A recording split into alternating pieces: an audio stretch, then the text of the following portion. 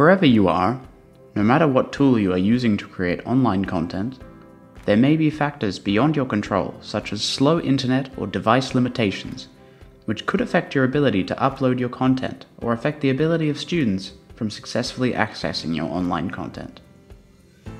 To overcome this, depending on your internet or device limitations, several options are available using Echo 360's Universal Capture.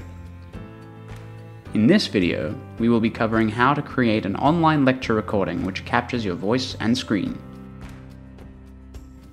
Open the Echo 360 Universal Capture application. Make sure your capture will be saved in your appropriate Echo 360 classroom. Enable the appropriate display where your slides are displayed. Check your microphone has been detected and functioning by speaking. You should see bars being generated.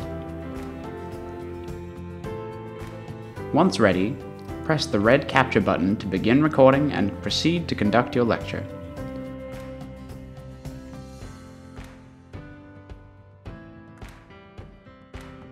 When finished, stop the recording and a narrated recording of your presentation slides will be made available to your students to view in Moodle via the Lecture Recordings Plus link.